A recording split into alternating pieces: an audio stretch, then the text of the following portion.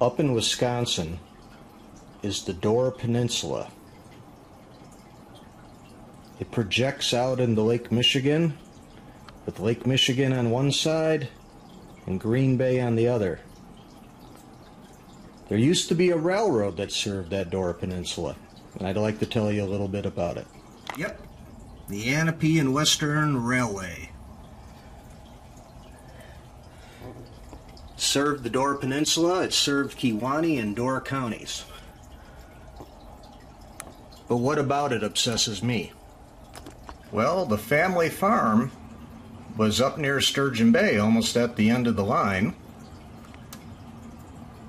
And there's a photo of my aunt and my mom sitting up on the hill, the ridge above Shiloh Road.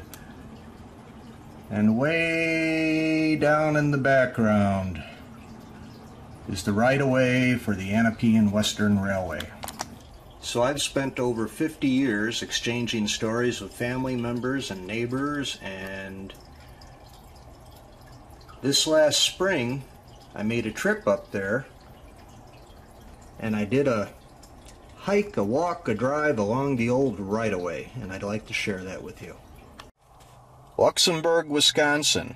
This is east of Green Bay and west of Lake Michigan and I'm down here so I can take a look at where the Ahnapee and Western Railroad used to be.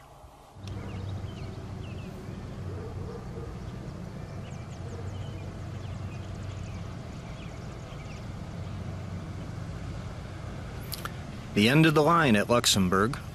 From Luxembourg,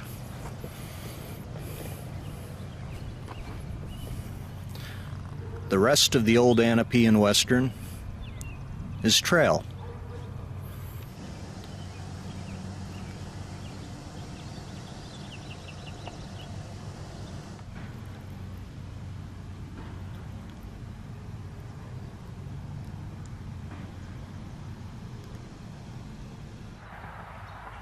Luxembourg is that way to the east. And we're going to work our way down this way towards Casco.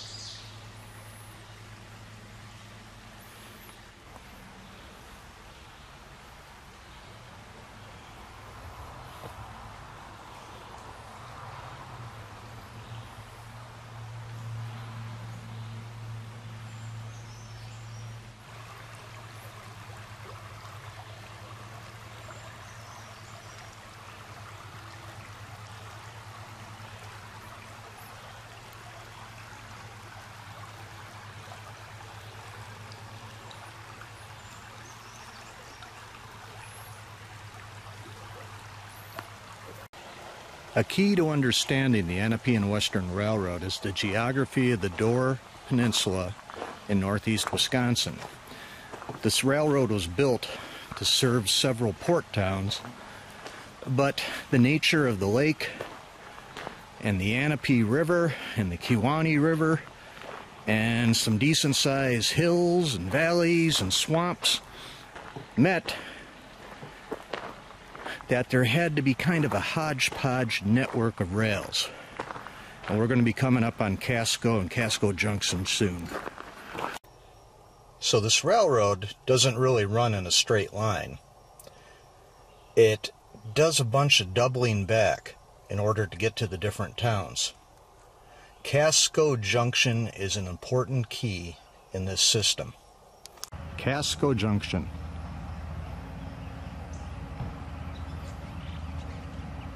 The next branch of the roadbed we're going to explore is the one that goes down to Kewaunee. After that, we're going to head up to Casco. That will lead on to Sturgeon Bay.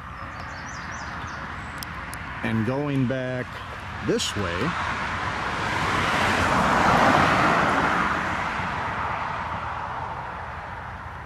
would take you back to Luxembourg.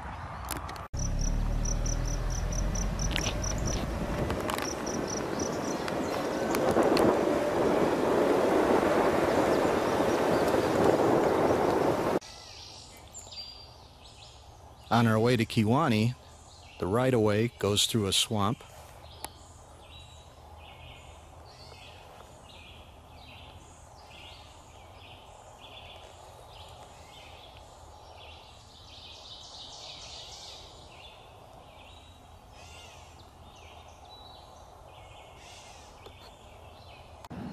The Kewaunee River near Kewaunee.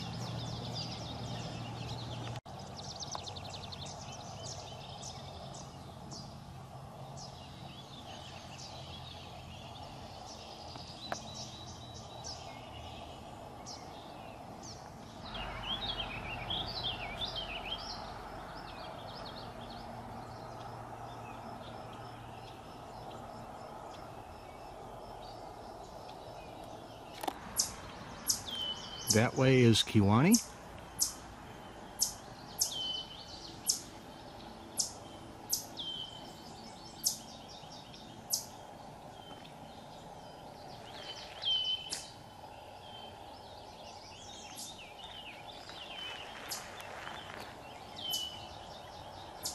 That will go back to Casco Junction and Luxembourg.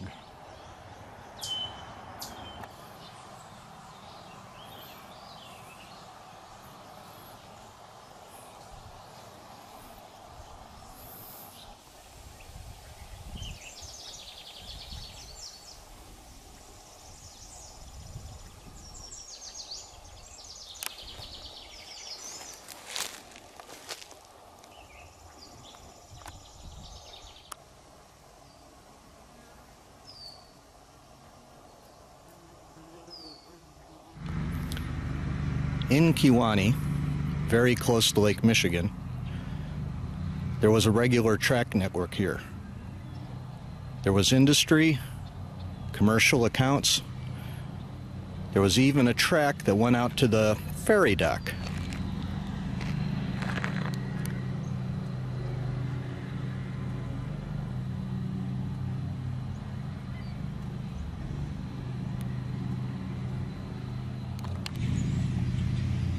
The shore area of Kewaunee has changed in the last 50 years. Even the state highway has changed course over here.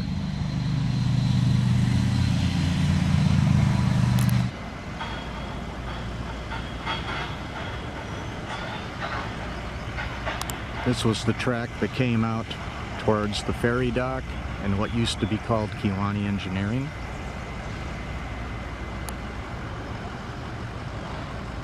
That's the Kewaunee Harbor and the Lake Michigan.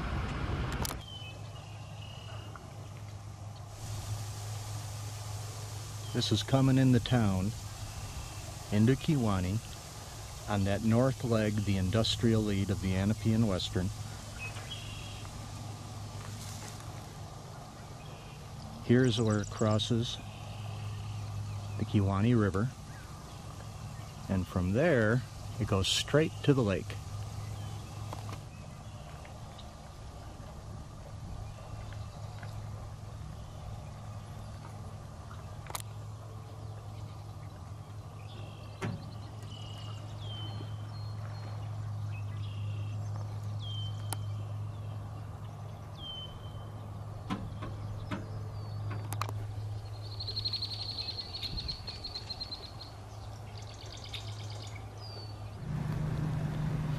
It's really hard to tell where the tracks used to be in Kewaunee.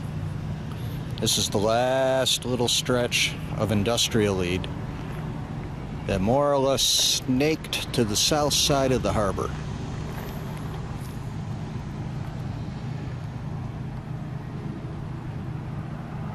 And on to Lake Michigan. Now this finishes the Kewaunee part of the tour. What we're going to do now is backtrack up to Casco. And from Casco, we're going to start heading up towards Algoma. I'm in Casco. That's looking down towards Casco Junction, which is a few miles away.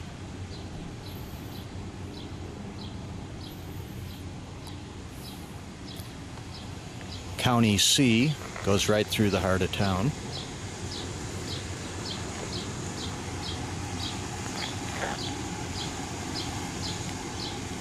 And heading this way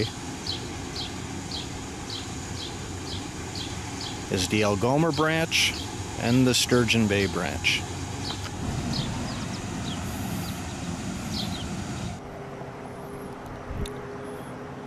There would have been a grade crossing at Highway 54. That's been removed a long time ago.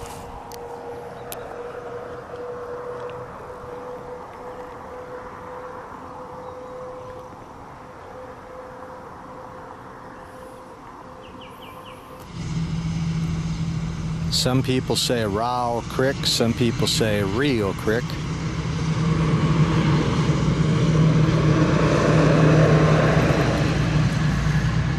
That's looking back towards Casco.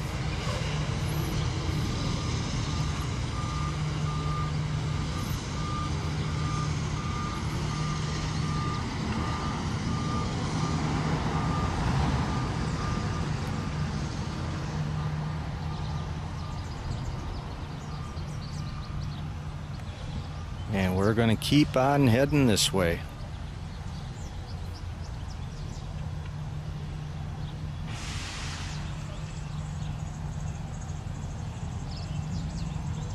Coming out of Rowell Creek, then the tracks would have crossed at Chestnut.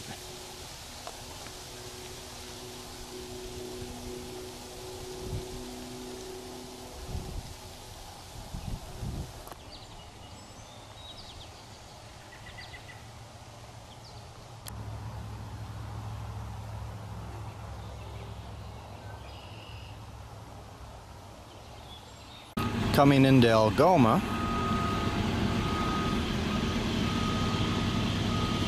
We see the trail.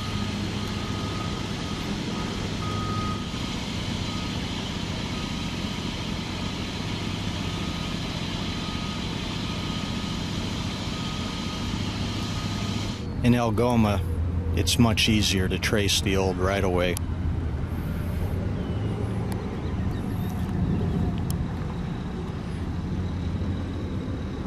This stretch is making its way into town towards the lake.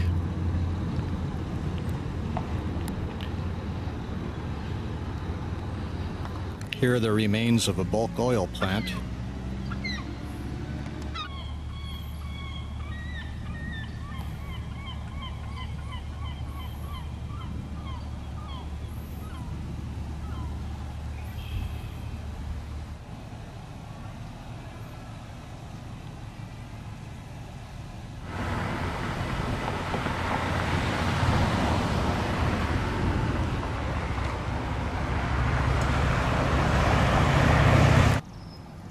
and through here.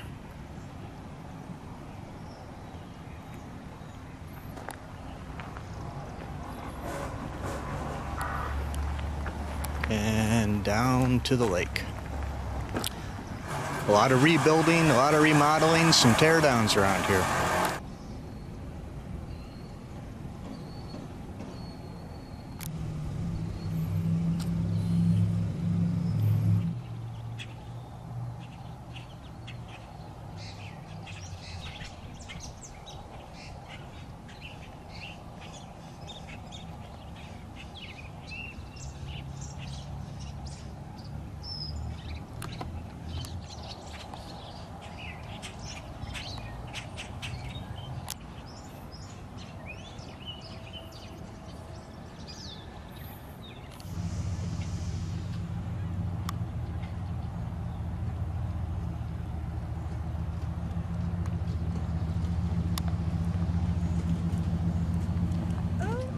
The Ahnapee and Western came all the way out to Algoma.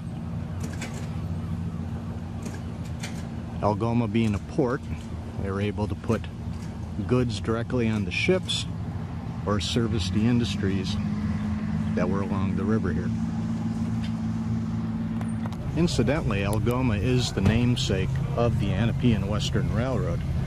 The reason for that being Algoma's original name was Ahnapee. And this would have been the eastern terminus on Lake Michigan for the railroad. So from Ahnapee, you could go west to Green Bay. I'm south of Forestville. I'm backtracking a little. I'm heading towards the Ahnapee River, uh, where the bridge used to be. The Forestville area was a real problem for the builders of the Ahnapee and Western. At the infamous Forestville Swamp, it took forever to drop material into the swamp so they could build the right of way. Just as soon as they would put material into the swamp, the swamp would swallow it up.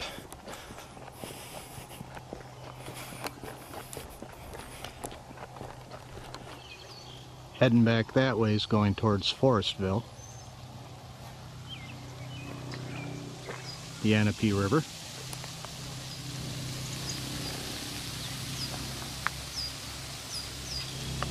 And this will take you back to Algoma.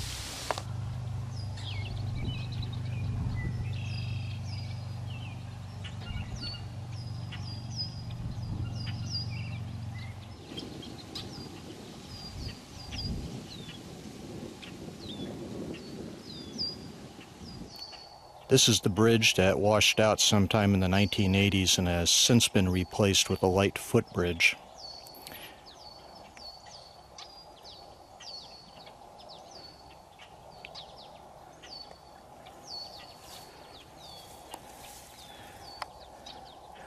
There's the footing for the original bridge.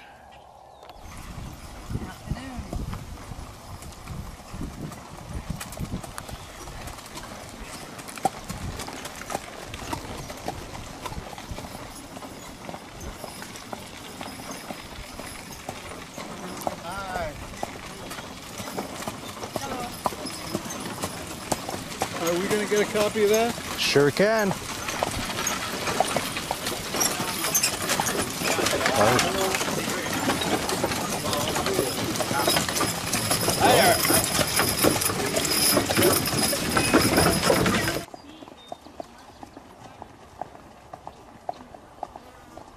Okay, Algoma and the Ahnapee River and all that's way down that way. This is Forestville.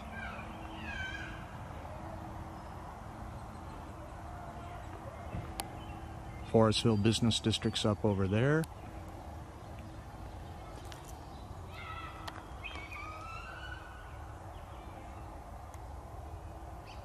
And this way to Sturgeon Bay and Maplewood.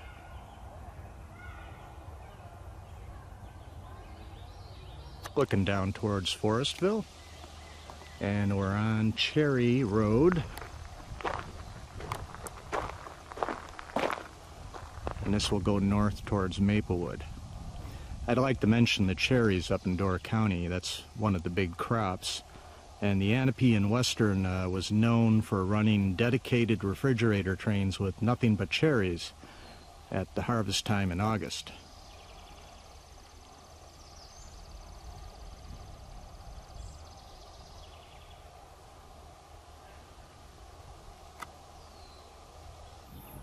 Mill Road looking south southwest. Down that way is Forestville and one of the big swamps. Coming this way,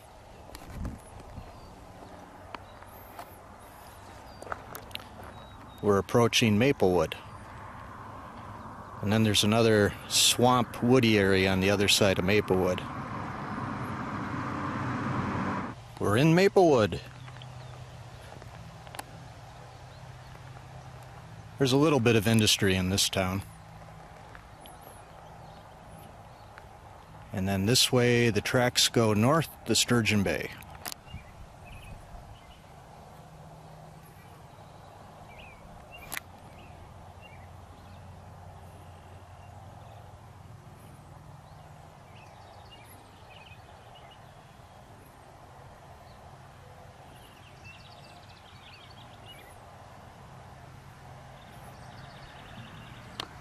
The old Idlewild Road grade crossing.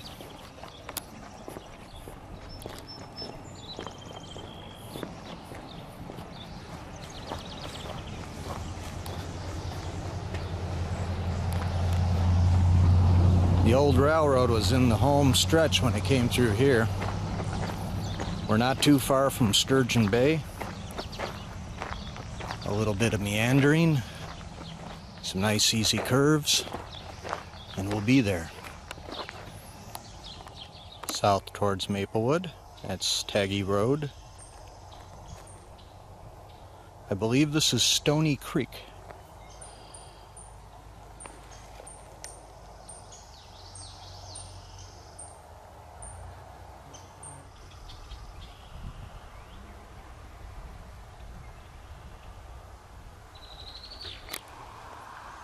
At the old Wilson Road grade crossing. This is now in the city limits of Sturgeon Bay, but we're still about two and a half miles from the water.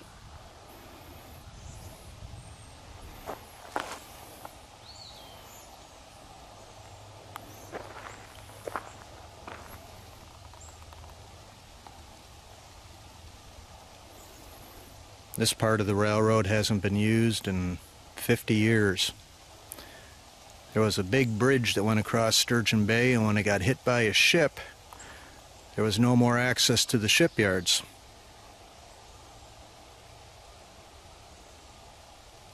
But the biggest industry out of commission, the owners of the railroad basically shut down the line from Algoma to Sturgeon Bay. Once we get the Shiloh Road, finding the original roadbed becomes next to impossible. Part of the reason that the roadbed is so hard to find is there was a sand and gravel operation down in this area along Shiloh Road. Uh, they preserved the original roadbed for a while, but then that too finally got dug up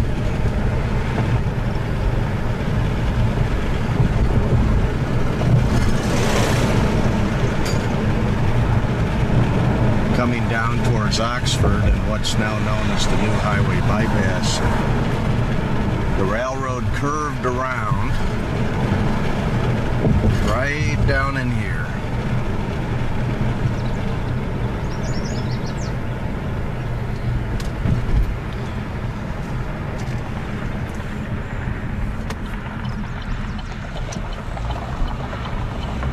And went across over there.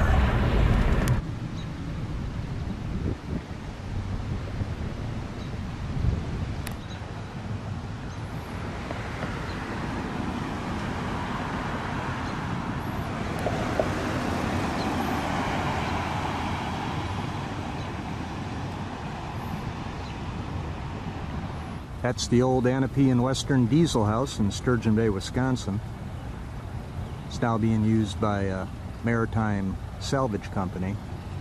But the tracks would have come down off of Shiloh Road, come right through this little corridor, and headed. Tracks would have come along here. I think this little piece of parking lot was rededicated railway land. The bridge immediately in front of us is the new Maple Bridge. And that cast iron steel bridge there, that's the old Michigan Bridge. This area has been massively reconstructed. I'm standing on the old embankment that goes out into the body of water known as Sturgeon Bay. Yeah, the tracks came right out here.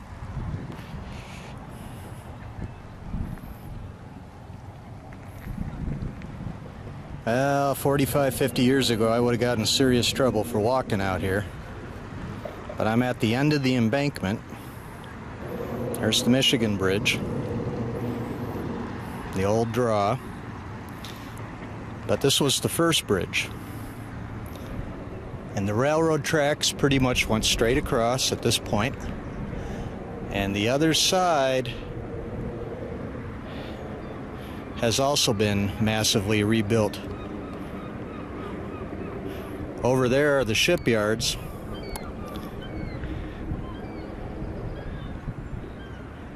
That's the big one, Bay ship.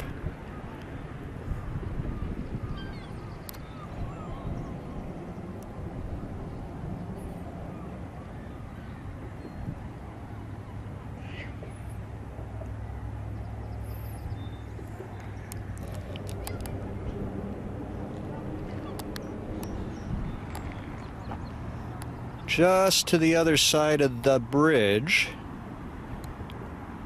was Palmer Johnson Yachts. And further down by the new Maple Bridge, that was the Peterson Boat Works.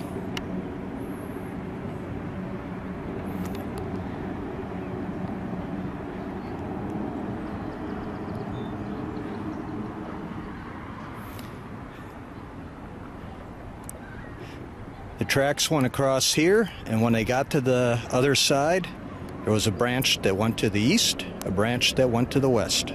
And here's the end of the line. This is the Sturgeon Bay Passenger Depot on the east side of Sturgeon Bay, Wisconsin. I've been up here before and I've made another film dealing with just this structure. Let's just take a quick walk around it. This was pretty busy when they had the German POWs up here back in 1945 and 1946. Camp Sturgeon Bay Prisoner of War Camp was something like 1,800 prisoners.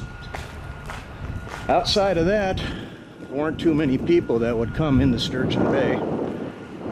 Being the end of the line, there wasn't much of a passenger service up here.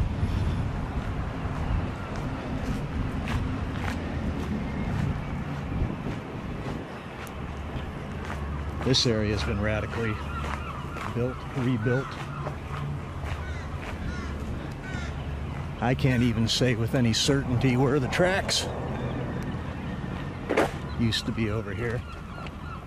I can tell you one that I ate here once when it was an Italian restaurant and brew pub.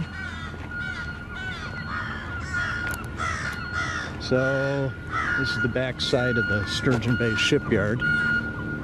They just took control of this city street, but essentially the tracks would have come along through this area, swung here, came through here.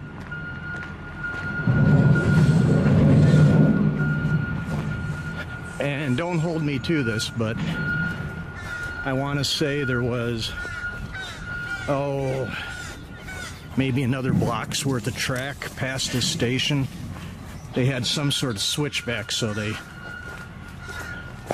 didn't have to worry too much about uh, turning the engines around. They had both steam and diesel here.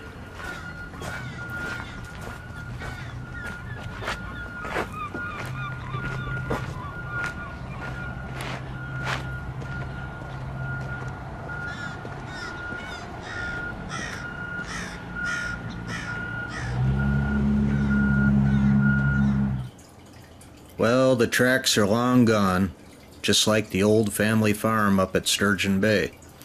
But the memories are strong. I hope you have enjoyed this tour. I hope that you will have a chance to visit the Door Peninsula, Kewaunee and Door counties, and see this trail for yourself. It's great for hiking, biking, snowmobiles, horseback riding, you name it. There's a lot of things to do in the area. A lot of beautiful scenery. But if you do make it up there, give yourself a few moments to close your eyes and picture what it would have looked like in the old days when the trains were running. Thank you again for watching. I'll be continuing the research the Ahnapee and Western, and I'll be presenting more information in the future.